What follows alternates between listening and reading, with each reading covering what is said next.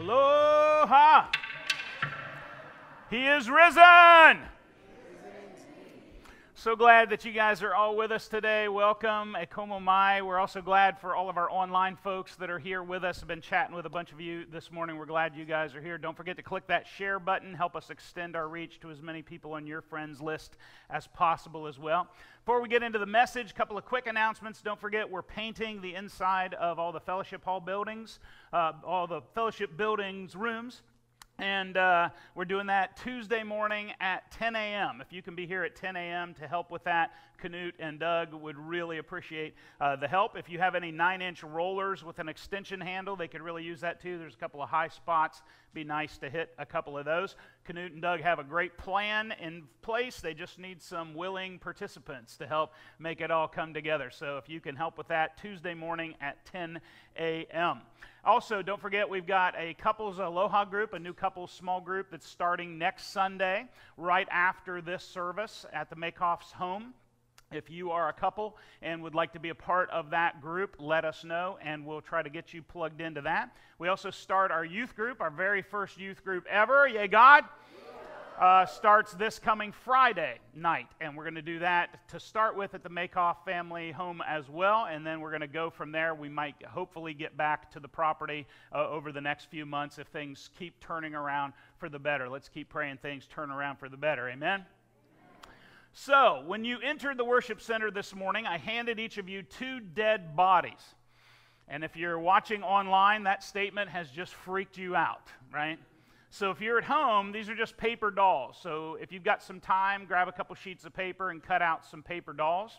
And uh, if you don't want to do that, just get a couple pieces of paper. That'll work for you at home as well. That comes a little bit later in the message. So I'll ask you again. A couple paper dolls have blown away a little bit, so we can make sure you get two. You want to have two. You only need one for the service today, but you're going to take one home with you. So when we get to that part, we'll make sure everybody's got two. That comes on a little bit later. Now, normally the first Sunday of the month is Communion Sunday, but we just did Communion Friday night at Good Friday service, so we're going to wait and do Communion again on the first Sunday in May. So don't forget, there's three ways to support the ministry of the church financially. Number one, you can use the Yeah God boxes out in the lobby, those little black boxes right beside the door as you come and go. You can just drop your offering right in there. That works great. You can also use the online giving address that you see on the screen, or you can mail a check to the P.O. box. That works as well. We really appreciate your support of this ministry. Every single penny helps. Well, we're calling today's message Rise One Truth That Will Change Your Entire Life. And I want to begin like this. Here in the center of the table, this box for us today represents Easter Sunday and the resurrection of Yeshua HaMashiach, Jesus the Messiah. And this empty box is going to be a reminder of the empty tomb for Jesus for us today, and a reminder throughout the service that he's no longer dead, but he has risen. He has risen indeed, and he wants you to rise as well. That's what we're talking about this morning. Uh, both in this life and in the next life, Jesus wants you to rise. So the box is going to come into play a little bit later in the message as well, so just don't forget about it. If you're ready to hear what God's put on my heart to share with you this morning, would you do me a favor and say, Hit me with it, G, I'm ready. Awesome. So it's the Sunday after the crucifixion of Jesus. A couple of days have passed since Jesus' death. And then the 24th gospel, the 24th chapter of the Gospel of Luke tells us this. Now, on the first day of the week, at early dawn, the women went to the tomb. Sun came up, they said, Let's head to the tomb, taking the aromatic spices they had prepared. Now, they didn't practice embalming in ancient Jerusalem, so the aromatic spices were to help cover the stench of decaying flesh.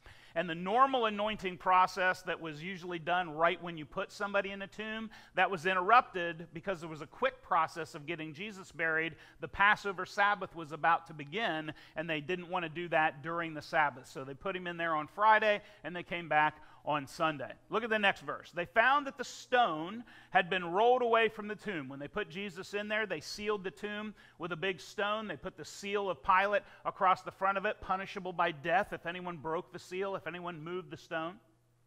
But when they went in, when they went inside the tomb, they did not find the body of the Lord Jesus.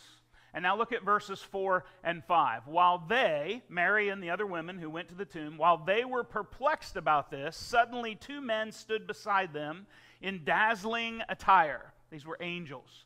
And the women were terribly frightened, and they bowed their faces to the ground.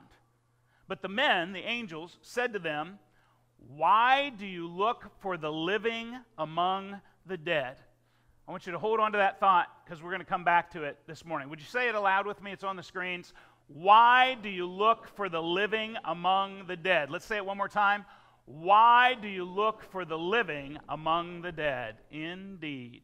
The angels continued. Look at verses 6 through 9. He is not here, he's not in the empty tomb, but has been raised. Remember how he told you while he was still in Galilee that the Son of Man must be delivered into the hands of sinful men and be crucified, and on the third day rise again? And then the women remembered his words. And when they returned from the tomb, they told all these things to the eleven and to all the rest of the disciples. So Mary and the other women went to the tomb expecting to find the dead body of Jesus. Peter and John later made their way to the tomb expecting to find the dead body of Jesus. They all made the same mistake. They all went to a graveyard expecting Yeshua to be there, dead in the tomb. And from their point of view, that was not at all unreasonable. They saw him die. They buried his dead body in this tomb a couple of days ago, so obviously we're going to find him in the tomb. That seems logical. But they went to the tomb and Jesus was not there. He had risen. My God's not dead, he's surely alive. He's living on the inside, roaring like a lion, right? And so Jesus was no longer dead, he was alive, the tomb was empty. Now, of course, they all should have known that was going to happen. They should have known he was going to be alive because Jesus had repeatedly told them he was going to rise from the dead on the third day. It's all over the Gospels.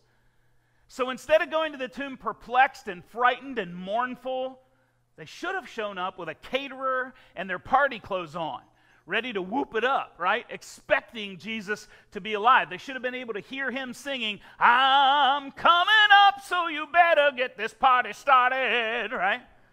These two angels, they asked Mary and the others this very poignant question Why do you look for the living among the dead? That's a great question, right? Because the dead and the living, they don't typically hang out together much, do they? Except in zombie movies, right? Why do you look for the living among the dead? Duh. However, before we frown on Mary and the other women and the disciples who went to the tomb looking for the living among the dead, we need to admit this to ourselves. We still do that a lot too, as human beings, don't we? Like the men and women at the tomb, we too often look for life in dead places, in dead practices, in dead relationships, in dead things. We look for meaning, purpose, adventure, happiness, fulfillment, direction, joy, significance. We look for all of those things in unhealthy, unhelpful, unlikely, sometimes dead places. And yet, Jesus is the only place we'll ever truly find these things. He said in John 10:10, 10, 10, "The thief, the devil, comes only to steal and kill and destroy. I have come so that they may have life and may have it abundantly." And so Jesus' abundant life plan is full to overflowing. It's exceeding. It's overwhelming with joy and purpose and direction. And yet we routinely in our lives choose lesser things. We routinely follow destructive desires. We practice destructive habits. We pursue destructive relationships in the wrong places at the wrong times for the wrong reasons with the wrong people. And all of these choices kill us on the inside and they drive us further away from God and His plan of abundant life for us. The truth is, everyone wants to experience the kind of abundant life that Jesus is promising to us, that he's offering to us, but instead we often tend to go looking for the living among the dead. We go looking for the fullness of life among the empty things that the world has to offer. It's the same as looking for life in graveyards. And so we end up messing up and missing out on what God wants to show us in life. We miss out on becoming who God wants us to be in life. Jesus promised us this in John 7 Let the one who believes in me drink, just as the scripture says, from within him will flow rivers of living water. Doesn't that sound great? Wouldn't you love for that to really be true of you spiritually, emotionally, physically, mentally? Every single day? Wouldn't you love to wake up every single morning and just feel like you have rivers of living water flowing in you, through you, out of you, infusing you and everything and everyone you care about with power and purpose and energy and direction and joy? Yay, God? Yeah, God, right? Right. If you're ready for that, would you just say a short prayer after me? I'll guide you in it. I'll say it and you repeat after me. Let's say, I am ready, Lord Jesus. Let your living water of abundant life burst through me into every arena of my world. Amen. So, where does it come from? Where do we get that living water? Jesus told us. He said, Let the one who believes in me drink me in. Listen, don't miss this. Listen. A life characterized by the idea of rivers of living water, that happens when we drink in the person, when we drink in the character, when we drink in the teachings, when we drink in the acts of our God, our Creator, Jesus Christ. We are drinking living water whenever we're putting our faith in Christ. And so I'm talking about a daily dependence, a minute by minute spiritual connection to Jesus, filled with the Holy Spirit of God, a close relationship where we actually live like we really believe that the creator of the universe, through his Holy Spirit, lives in us and is roaring like a lion, ready and willing to direct our lives with abundant fullness of purpose and meaning. If you can really embrace and live this one truth, it will change your entire life. And you will rise up and you will live the abundant life that Jesus promised to us. If you only take away one thing from the message today, let this be it. Remember, this message is called Rise One Truth that will change your entire life. This is the truth. Here's the one truth I want you to be sure you get today. Let your relationship with God replace your religion about God. Let me say it again. Let your relationship with God replace your religion about God. If you can do that, that's one truth that will change your life.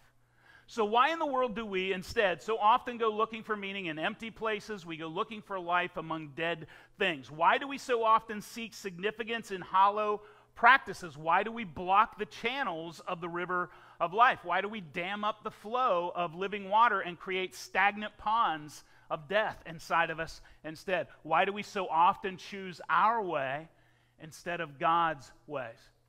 Solomon wrote these words in Proverbs 16 There is a way that seems right to a person, but its end is the way that leads to death. There is a way that seems right to a person, but its end is the way that leads to death. How does that play out in our daily life? Think about the high school student or the college student. She's considered outgoing and fun. Everybody knows her to be the life of the party. She comes across witty and sociable and intelligent and happy to everyone. But the truth be told, on the inside, when she's alone with her thoughts, she's deeply lonely. She's bitter about life. She's empty. She's depressed, even suicidal sometimes. She drowns her sorrows with beer bongs and weed bongs every weekend. She bounces from one guy to the next. She pretends she doesn't feel dead inside. She's looking for love in all the wrong places, as the song goes, right? Looking for love in all the wrong places, looking for love in too many faces. She wants something more in life. But what she actually wants though she doesn't realize it, is the abundant life that only Jesus offers. She can't find it, it won't rise up inside of her. Why? Because she's looking for the living among the dead. There is a way that seems right to a person, but its end is the way that leads to death. Or consider the businessman. He, he never seemed to be able to make his dad proud as a child, and now he's driven to be a people pleaser. He's driven to be a success hound. He's driven to be a workaholic. And he thinks if I can just get the next promotion, if I can just get that next raise, if I can just land that next deal, then everybody will finally know that I mean something, that I matter. I'll finally be successful. He's so driven by this broken child need that he works his way, uh, his whole life away. He misses out on a great relationship with his kids and with his wife. He's taking what they're living because he's working for a given, right? He's, he wants something more. He wants what he actually wants, though he doesn't realize it, is abundant life that only Jesus offers. He can't find it, it won't rise up inside of him because he's looking for the living among the dead. And again, there is a way that seems right to a person, but its end is the way that leads to death. Or maybe think about the housewife with four kids in a minivan. She's lost in the day to day drone of suburbia. And everyone compliments her on her well kept home, her well behaved children, her immaculate appearance. But the truth is, she's just going through the motions. She's on every volunteer committee on the Big Island. She's dying inside, though, a little bit every day. An alcoholic home and overly critical parents as a child left her feeling unattractive, unimportant, unlovable, and now she lives with the constant expectations of her husband and her kids to always do more, to always give more, to always be more, always expected to be the giver, always made to feel guilty for wanting to receive any love herself. She just keeps pouring herself out for others without ever getting refilled. She's running on empty, right? She welcomes sleep at the end of the day because it's the only time no one expects anything from her. Often she helps sleep along with some extra alcohol or some extra medication, anything to knock her out until the whole thing starts all over again the next morning. She wants something more in life. What she actually wants, though she doesn't realize it, it's the abundant life that only Jesus can give. And she can't find it, it won't rise up inside of her because she's looking for the living among the dead. There is a way that seems right to a person, but its end is the way that leads to death. I could go on all morning telling these stories like these, but sooner or later, we all know I would eventually get to your story, right? I would eventually hit on the way that you still sometimes look for the living among the dead. We would eventually hear about the way that seems right to you, maybe the only way you've ever known. But its end is the way that leads to death the death of dreams, the death of joy, the death of meaning, the death of adventure, the death of significance, the death of abundant life. So just insert your story here. Why can't we see the reality in our lives? Why do we keep looking for the living among the dead? And if we're honest with ourselves, we all desperately want to have abundant life flowing out of our actions and thoughts like fountains, like raging rivers of living water. But the reality is, we usually end up looking for the living while surrounded by the dead in a graveyard of missed opportunities, regrets, and disappointments. So eventually, what happens? Most people just give up, they just settle for less, an ordinary life. They just decide to mark their time and try to numb their pain the best they can. And so every year on Easter Sunday, they get up, they dress up, and they go to church. And the pastor says, Christ is risen. And everyone responds, He is risen indeed. And they sing, Up from the grave he arose. Or they sing Amazing Grace. But then they go home completely unchanged, unfulfilled. And they just, truth be told, return to pursuing the same dead things tomorrow that always left them feeling empty at the end of the day yesterday.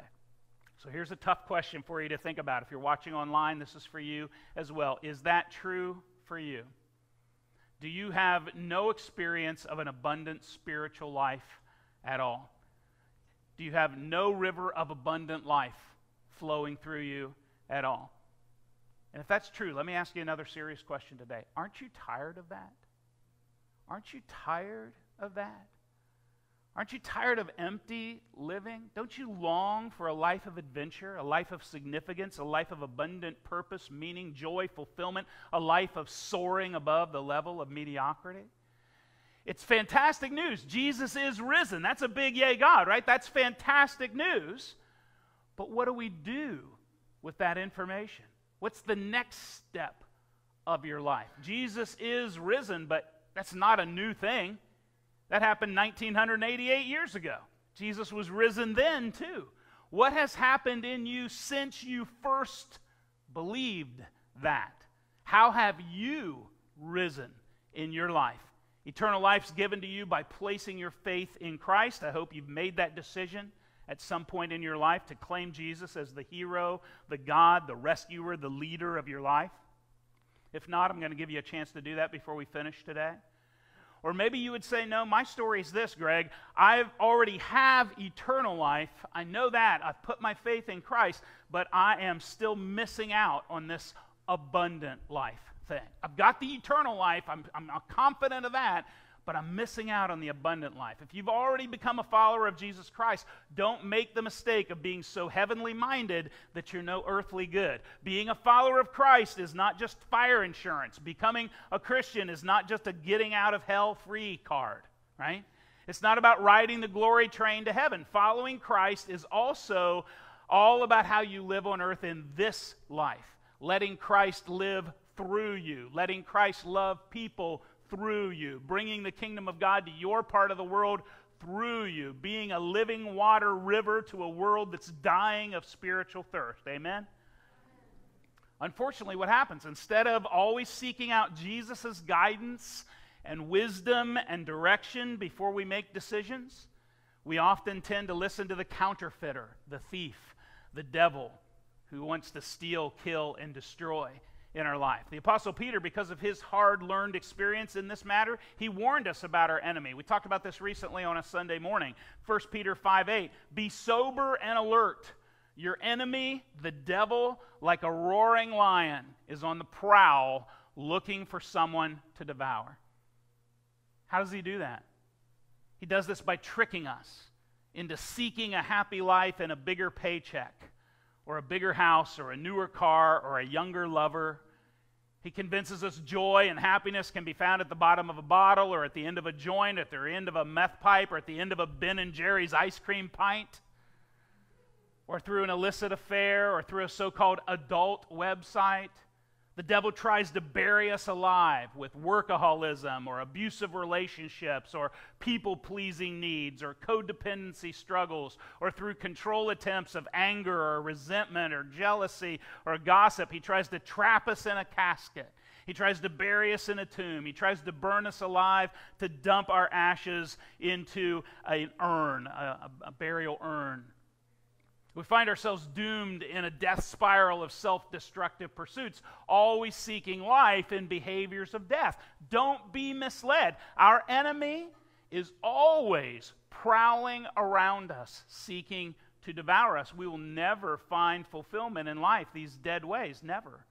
To do so is to look for the living among the dead. We need to know the truth because, as Jesus promised us, the truth will set us free. So, in the brief time we have left, let's talk about four action steps of how you can stop looking for the living among the dead and instead start living the abundant life that God really intends you to live. Are you ready for that? If you're still with me, would you say, Hit me with it, G, I'm ready. Awesome. Action step number one face the truth. Face the truth. Alcoholics Anonymous calls it taking a fearless moral inventory of yourself. Identify all the things in your life, all the misconceptions, all the misinterpretations, all the baggage, all the disappointments, all the scars, all the destructive habits, all the patterns, all the toxic relationships that are preventing you from experiencing the abundant life that God wants for you. Prayerfully, ask God to help you figure out what those things really are in your life. Where are you looking for the living among the dead? And be honest with yourself. Take a fearless moral inventory.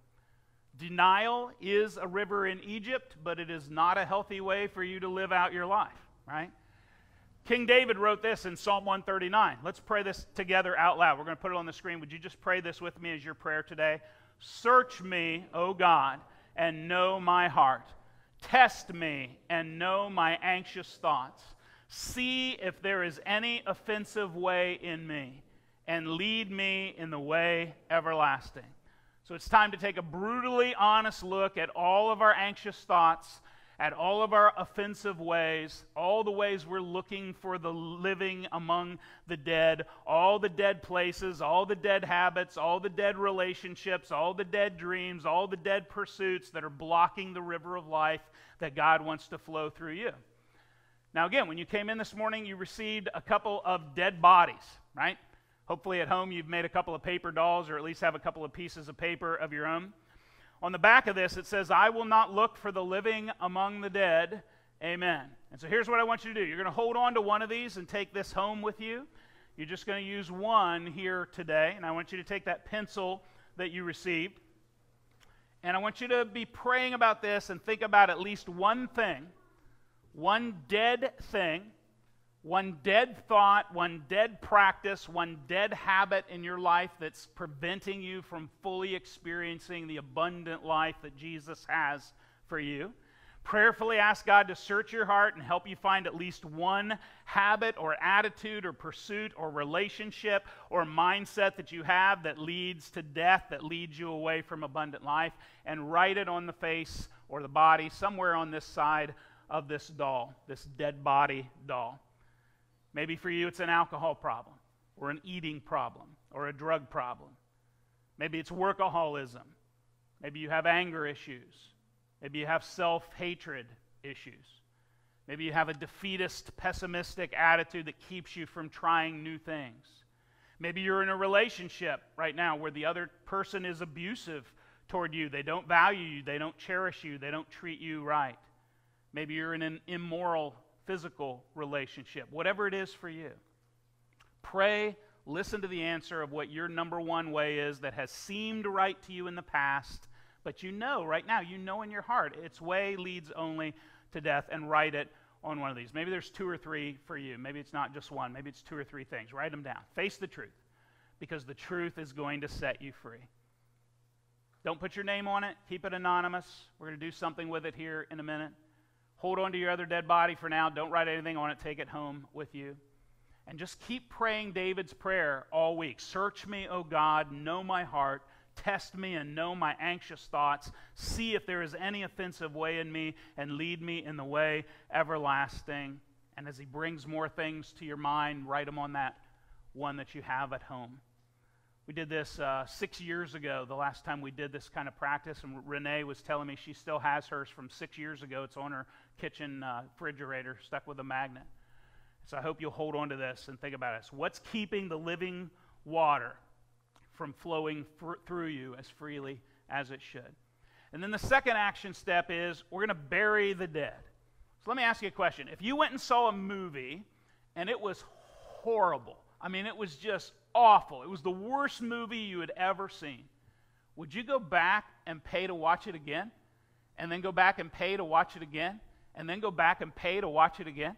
If you went to a restaurant and it was the worst restaurant, the most horrible service, the worst tasting food, and it gave you food poisoning, would you go back to that same restaurant and order that same dish again and again and again? Of course not, right? If we keep doing what we've always done, we'll always get what we've always got. That's true in life, isn't it? So let's stop returning to those anxious thoughts and offensive ways in our life as well. Let's stop returning to the ways that used to seem right to us, but now, with God's help, we realize they lead only to death. If you are a follower of Jesus, you have the power of God living inside of you to change your life. You're not a victim. So stop looking for the living among the dead. You won't find it. Abundant life isn't in the graveyard.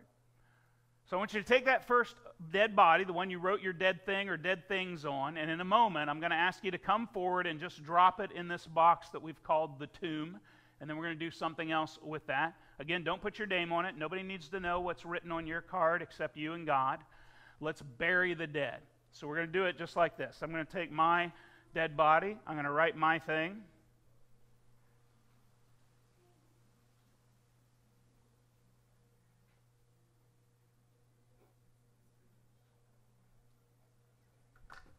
Then I'm just going to come up and I'm going to read the back as I drop it in. I will not look for the living among the dead. Amen. And I'm going to drop it in the box just like that. So that's what we're going to invite you to do in just a moment right? And then we'll talk about it a little bit more. So while you do that, we're going to show you a short video. My friend Gary Ross, he's played the piano and the trumpet for us on weeks that Patsy's not able to be with us at the second service. And he and a bunch of his friends from all around the world uh, put together a little uh, tribute to Jesus for Easter Sunday. And so we're going to play that video as you guys take turns uh, coming up. We do want to try and keep distancing as much as possible, so don't become a massive clump here at the front, but sort of take turns and let one row go and the next row go, and let's all participate in this, if you will. Let's watch this video by Gary as we do that.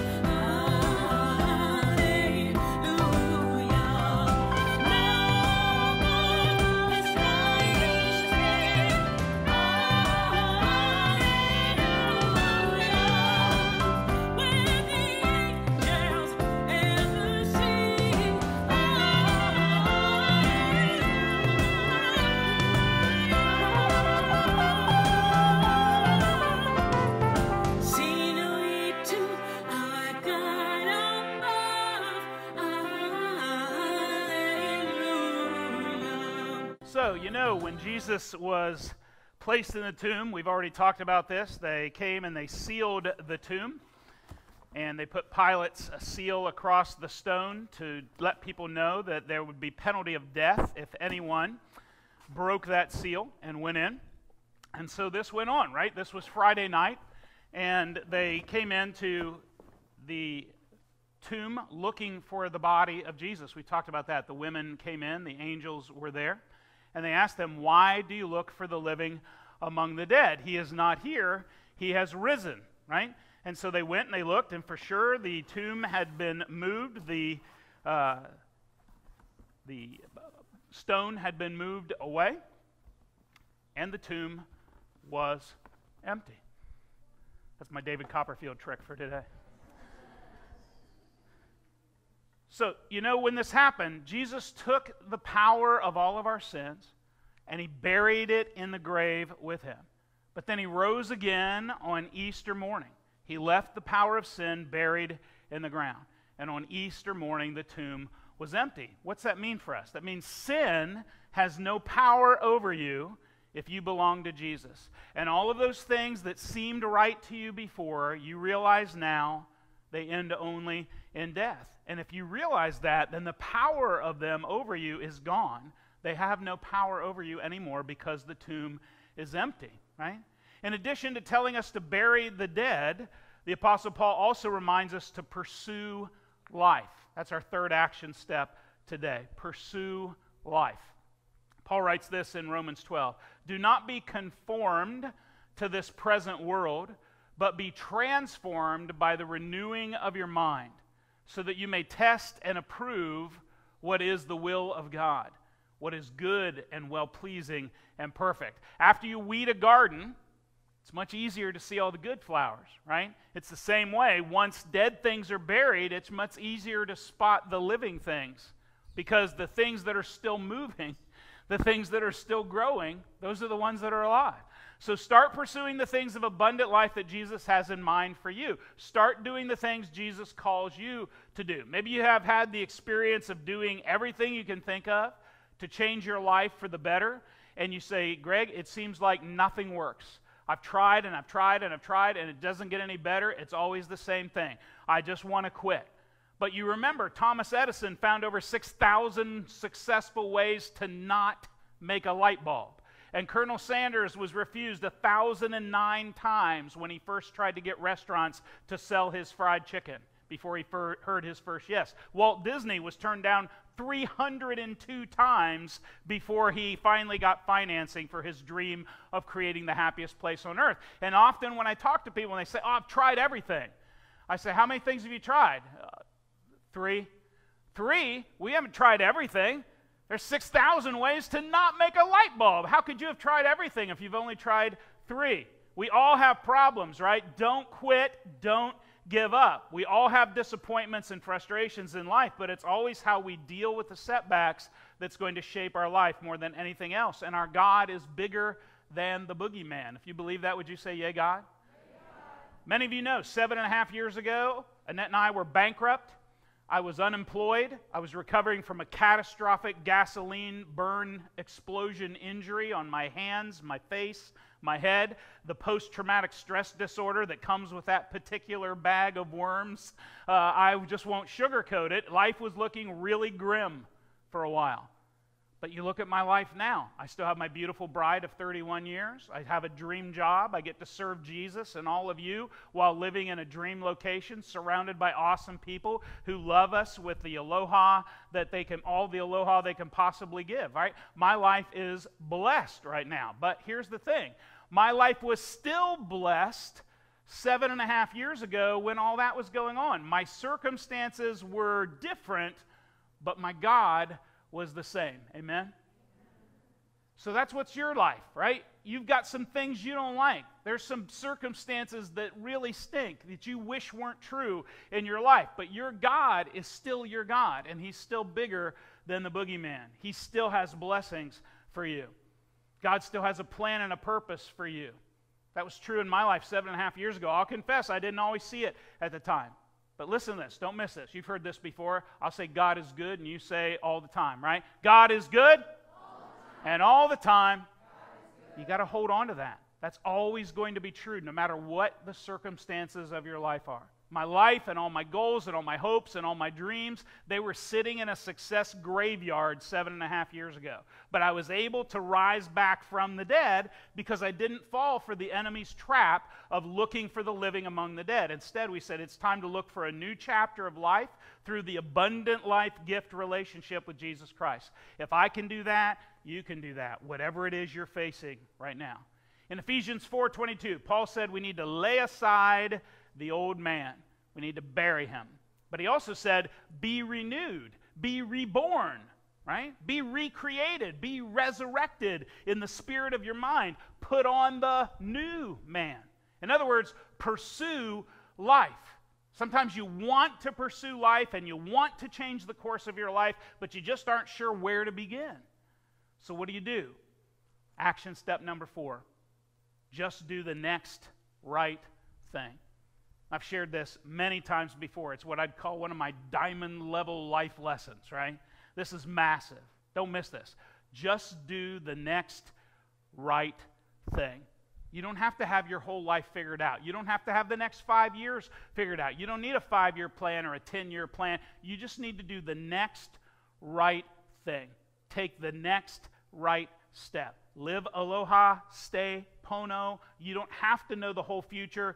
God knows the whole future. That's His job, not your job. You just keep doing the next right thing and trust God to take care of the rest. Jesus said if we believe in him, we will have eternal life and abundant life. Jesus said if we have faith in him, rivers of living water will flow out of us and our lives. And Paul told us that God has a specific will for your life. He tells us it is a good, a well pleasing, and a perfect will for your life. Trust all that. Trust that God has already figured out what all the really hard stuff is for us. All we have to do is keep asking God, What do I do next, Lord? What do I do next, Lord? What do I do next, Lord? And just take the next right step. Do the next right thing. We don't have to get bogged down in massive to do lists and five year plans. We don't have to be overwhelmed with conquering all the details and discerning all the right chess moves of life because our God is the master chess player. He's an infinite number of moves ahead of us. And all we need to do, all we need to do is take the next right step, do the next right thing. Let Jesus speak into your life right now. Stop looking for the living among the dead. It's time for you to rise. Let your relationship with God replace your religion about God. Let the living water flow through you so that you can live the abundant life. Now, real quickly, I don't have a lot of time, but those of you who were with us for Palm Sunday and Good Friday, I want to connect those two messages with Resurrection Sunday as well. I've mentioned before, Yeshua fulfilled all three spring feasts of the Lord. He fulfilled the summer feast of the Lord, what we call Pentecost. When he comes again the second time, he'll fulfill the three fall feasts of the Lord as well. And the spring feast he fulfilled with his resurrection is the feast of first fruits. And we don't have time to talk about it today, but if you're ready to hear what Paul Harvey used to call the rest of the story, if you saw part one and part two, you got to come back Wednesday night and hear part three. How did Jesus fulfill the Feast of First Fruits with his resurrection? That's the third and final part of our Pesach series. I hope you'll join us Wednesday night. Let's pray together as Joel and Benny and Al come to lead us in our closing worship song. Father God, help us stop looking for the living among the dead. True life can only be found in one place, in the person of Jesus Christ. I pray for everyone here today, everyone watching online that we would make this decision if we haven't already. I will stop looking for the living among the dead, and I will seek Jesus for my life, for the abundant life that he offers. You might decide today, God, I finally am ready to put my trust in Jesus. I have confidence that he is who the Bible says he is, that he did what the Bible says he did, and that he will do everything he's promised to do. I have confidence in that. I have faith. I have trust in that. So I put my faith in you, Jesus, as God, as the Lord of my life. And I put my trust in you as the leader of my life. You're smart, I'm not. You've got a plan, I don't. You lead, I'll follow you. You're God, I'm not. You be my God. You be my Lord. You be my leader. And then you would say, Jesus, I believe that you did die on the cross, what we call Good Friday. You became all of the sins of every human being who ever lived, ever will live. You took the penalty for every mistake, every crime, every sin of every person ever. And you took all of the power of all of those sins into the tomb with you.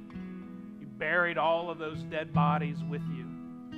And then when you rose again from the tomb, you left the power of all of that sin in the ground. It has no power over us at all anymore.